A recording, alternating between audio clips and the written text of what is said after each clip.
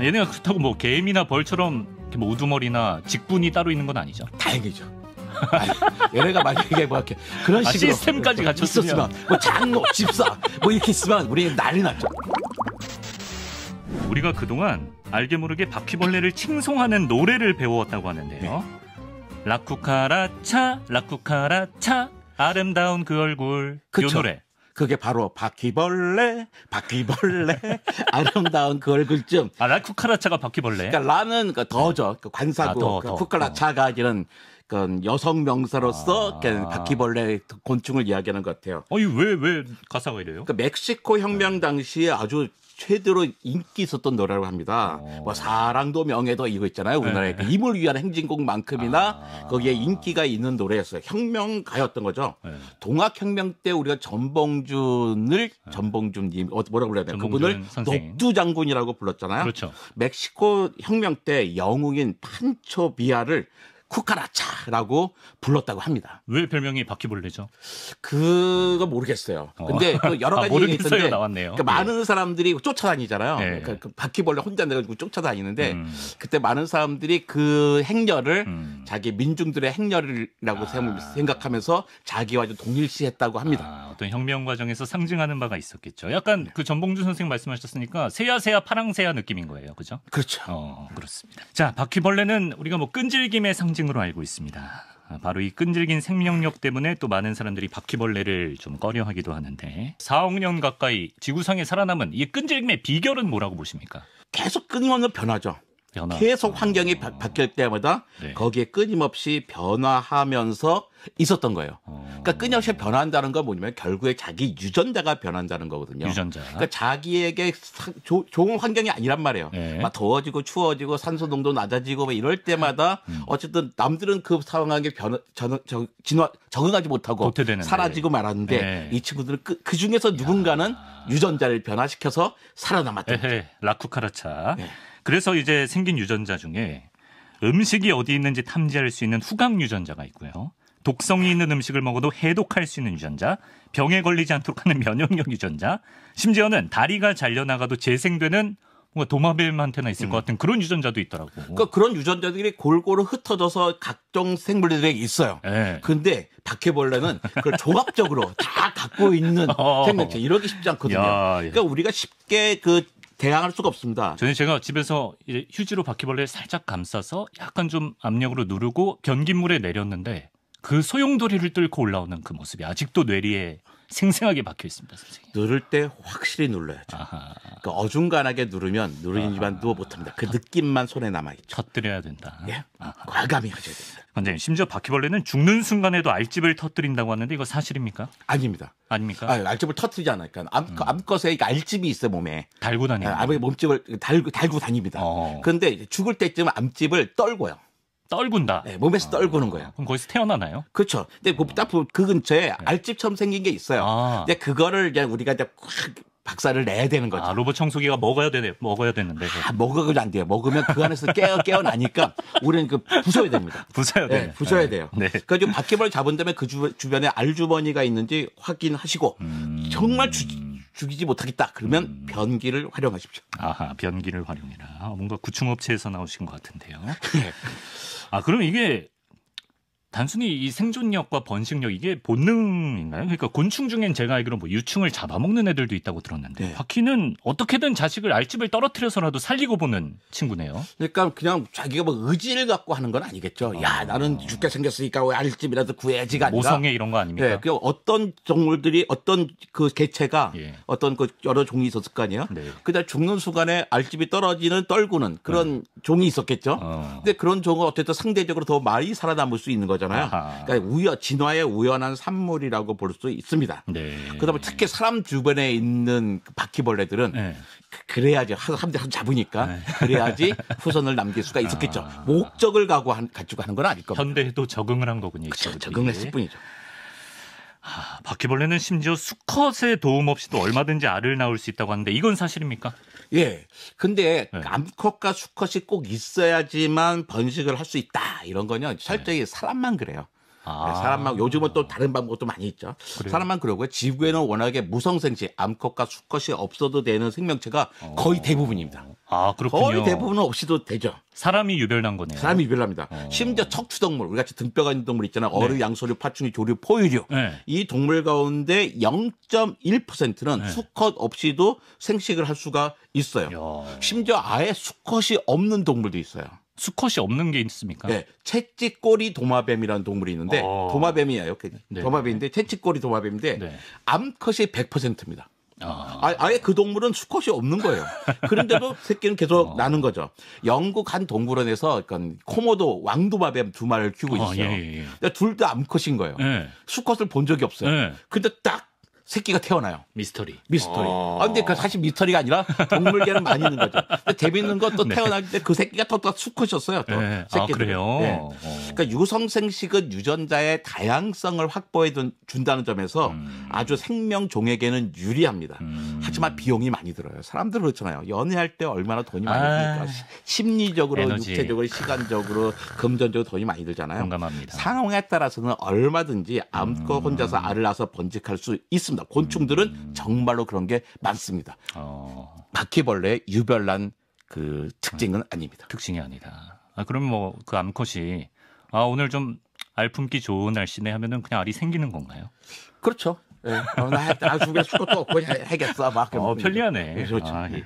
현존하는 바퀴벌레의 종은 뭐 몇 종류나 되나요, 관장님? 그러니까 우리에게 익숙한 바퀴벌레는 다 나라 이름이 붙어 있어요. 미국 바퀴벌레. 어. 독일 바퀴벌레, 뭐 네. 동양 바퀴벌레, 갈, 뭐 일본 바퀴벌레, 뭐 갈색 줄무늬 바퀴벌레, 뭐 회갈색 바퀴벌레, 뭐 이런 네, 거예요. 네, 네. 그러니까 다섯 종류가 우리한테 많이 알려져 있습니다. 예. 모두 다 해충이에요.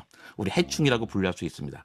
근데 해충으로 분류하는 바퀴벌레가 한 20종류 돼요. 스무 종. 그러니까 우리가 잘 아는 건 다섯 종류 되고, 네. 근데 실제로 바퀴벌레는 3,500종이 넘습니다. 엄청 많네요. 그러니까 3,500종의 바퀴벌레가 그 다섯 종류 때문에 네. 그 아니 뭐 넓게 봐야 스무 아. 종류 때문에 그 억울함 해충이 아닌데. 때, 그, 그, 그, 어, 박멸당하고. 그렇죠. 그러니까 우리 괜히 숲에 가서도 바퀴벌레하고 징그러하고 막 그죠. 아무런 문제가 없는데 꽃 수분 시켜주고 네, 네, 네. 그러니까 그런 아. 동물인데 그럼 우리 집에서 나오는 바퀴는 뭐라고 부르면 되나요? 그냥 집바퀴인가요? 그 아니요. 아, 그러니까 집에서 나오는 바퀴가 많이 보이는 게 우리나라는 독일 바퀴벌레예요. 아, 독일. 90%가 독일 바퀴벌레입니다. 좀- 자동차도 독일제가 유명한데 바퀴인데 독일이 붙었네요. 그러니까 우리 집에서 바퀴벌레가 나왔어. 아, 네. 바퀴가 나왔어 하는 것보단 네. 어차피 90%니까 아, 우리 집에 독일 바퀴가 있네 하면 맞을 확률이 90%예요. 그 그냥 있, 있는 척 할 수 있습니다. 아는 척. 아. 근데 주로 어디 있냐면 네. 주방에 그왜 전자제품 아래 있잖아요. 아, 예. 따뜻한데 아하. 거기 많이 있고요. 두 번째로 많은 바퀴가 미국 바퀴입니다. 미국 바퀴도 예. 있군요. 예. 근데 뭐 근데 커요 이거 미국 바퀴는. 아. 바퀴가 만약 우그로 만, 집에 많이 나오는데 네. 작아 그럼 미- 독일 바퀴 어. 커 그럼 미국 바퀴 하면 돼요. 그럼 벌써 그90 거의 100%다 되는 거예요. 그다음 어. 먹 바퀴라는 것도 있고요. 네. 네 번째가 이제 집 바퀴라고 하는 것들이 있는데 네. 사실 우리 집 바퀴를 집 고바퀴를 딱 찍어서 집 바퀴 하지 않고 네. 집에서 다 보이는 걸 다 집 바퀴라고 하는데 아. 실제로 집 바퀴라고 하는 갖고 있는 이름이 있거든, 있는 바퀴가 있거든요. 아, 예, 예. 일본 바퀴입니다. 아, 일본. 일본. 바퀴를 집 바퀴라고 하는데 네. 실제로는 집이 아니에요. 걔네들은 추운 것에 적응했어요. 그 집 바깥에 많이 살아요. 아, 그렇군요. 예, 그 가끔 집에 들어오기는 하지만 네. 집 바깥에 삽니다. 그러니까 이름 다시 져야 돼요. 그러니까 우리 뭐라고? 집 안에서 봤다 집 밖이 아니야. 아하. 아파트에서 봤다 절대로 집 아, 아니야. 이름을 좀 바꿀 필요가 독일. 바퀴나 미국 바퀴 생각하시면 됩니다. 아, 그렇군요. 그럼 독일 바퀴든 미국 바퀴든 집에 있는 애들이 뭐 먹고 삽니까? 그 그러니까 뭐가 뭐 얼마나 먹겠어요, 걔네들이. 그러니까 음식 좀 먹는 거죠. 어. 네. 그러니까 모기는 정말 나쁜 놈이잖아요. 모기요. 예, 네. 막 피 빨아먹고 간지럽게 하고 막 예. 병 주고 그러잖아요. 아, 관장님께도 모기는 나쁜 놈이군요. 그럼요. 예. 저는 그 진짜 모든 과학자, 모든 생태학자들도 모기는 다 싫어합니다. 모기를 지키자고 해서 본 적이 없어. 아, 그렇군요. 예, 예. 모기 없어도 됩니다.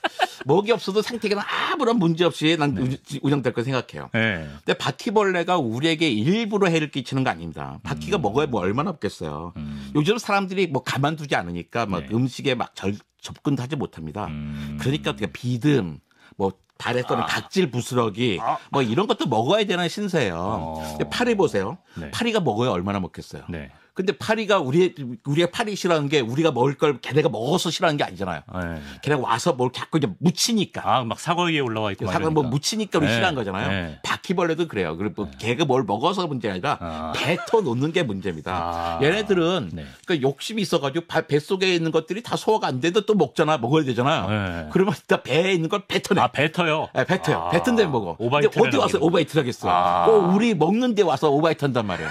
근데 그것 때문에 식중독이 생기 죠. 또 바퀴벌레 똥, 예. 또 사채가루 이런 것들이 집에 많이 있단, 말, 있단 어, 말이에요. 예. 돌아다니겠죠. 예. 그러니까 그런 것들이 뭐 아토피, 뭐 천식 이런 거 일으킵니다. 아. 그러니까 바퀴 잡아야 돼요. 아, 결론이에요, 이게. 야, 바퀴 잡아야 바퀴는 돼요. 잡긴 잡아야 네, 네. 된다. 예, 아무리 생물을 사랑해도 바퀴는 잡아야 되고 모기는 나쁜 놈이다. 네. 예. 유명한 속설 중에 집에서 바퀴벌레 한 마리가 나오면 잡아봐야 소용없다. 왜냐면 이미 그것은 보이지 않는 곳에 수백 마리의 바퀴벌레가 있다는 뜻이기 때문에 네. 이런 속설이 있는데 그러니까 서양에 이런 게 있더라고요. 네. 그러니까 바퀴벌레 한 마리가 있다는 건 너희 집에 바퀴벌레가 백 마리가 있다는 뜻이야. 아. 라고 이제는 뭐 학생들이 막그 얘기에다가 그런 얘기가 나왔어요. 네. 그때 교수님이 딱 교정해 줬어요. 뭐라고요? 그때 있잖아. 과학자들이 조사해봤거든. 네. 수, 100마리까지는 아니고 한 마리 있으면 수십 마리 있는 정도다라고.